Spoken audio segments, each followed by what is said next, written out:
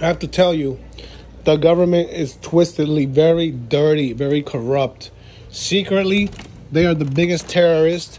Little do you know, the reason why the Twin Towers fell is because the MK Ultra, the CIA set it up. They're a bunch of Nazis. They hate black people. They make bad black people look like faggots with remote neural monitoring and they hate Spanish people that try to, like me, who try to create cultural music with all my knowledge of my music and my background.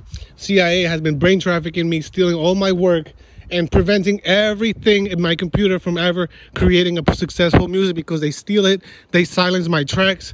I don't like the way they don't let me make my music, and they're destroying my my my, my physical health by not letting me use the bathroom because they can they can tighten like they can go on your body with like invisible airspace and then just completely clamp on clamp on your body and bend it and forward it so far like they can fold your, your shoulders inward so bad that you can't even breathe.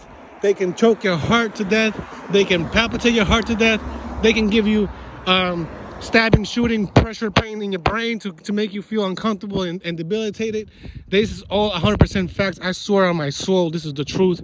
This is what you're going to gain knowledge of the facts of what the United States government be doing to innocent citizens using military war warfare weapons on innocent people who don't have the same thing to attack back because the psychopath government just wants to spy and see everyone's life and live like them because they're bored that they sold their entities to some call someone someone called Satan and they have shit. All they have is a shitload of money, but they can't be happy and they can't live life. So they have to parasite off of good people's brain and live everything and hack their women, hack their accounts, Facebook, friendships.